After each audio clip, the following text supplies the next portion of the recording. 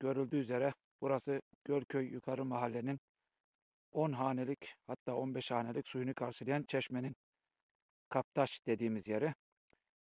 Evet boruları takip ede ede geldik.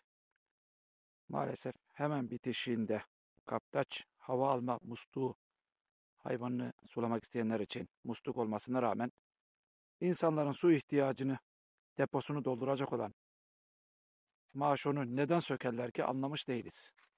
Abimiz de yaptık suyumuzu. İnşallah bir daha böyle bir sıkıntıyla karşılaşmayız ama her yıl bize yaşattırıyorlar kimler yapıyorsa. Gel, geldin Mustafa abi. Geldik mi sana? Bir de havasını alalım şuna. Tamam Şuraya gelsene. geliyorum. Tamam inşallah. Gördüğünüz gibi su gelmiyor. Kim bilir kaç zamandır açık. Ve içindeki su boşalmış. Koskocaman. Kaç tonluk vardır bu depo Mustafa abi? 20 ton ve fazlası da olabilir. Tekrar kontrol edeceğiz. Depoya su gitmedi. Hayırlısı bakalım. Ne olacak? Görüldüğü gibi. Maalesef su yine yok Mustafa abi. Bir bekleyelim bakalım. Yok gelir şükür. Ben geçen yaptığımda geldi hemen su. İnşallah bahçeden ayrı bir tekrar boru kesilmemiştir.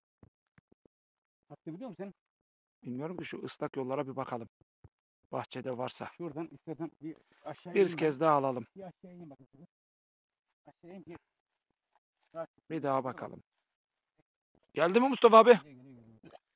Allah'ım inşallah.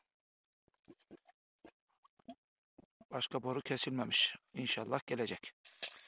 Evet, her nerede olursa olsun halkımızdan, tüm vatandaşlarımızdan ricamız lütfen halkın umumuna olsa da farklı alanlarda da olsa milletin suyuyla, yoluyla uğraşmayalım Allah rızası için. Vebale girmeyelim. Haktır, günahtır. Koskocaman depo kaç gündür kim bilir susuz kaldı.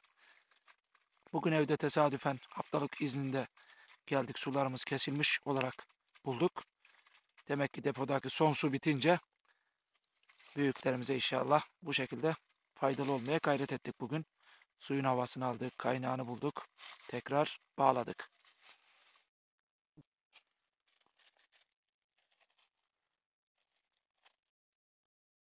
İnşallah gümbür gümbür ağzına kadar dolsun. İnsanlarımız, mahallelimiz, köylülerimiz, halkımız mağdur olmasın.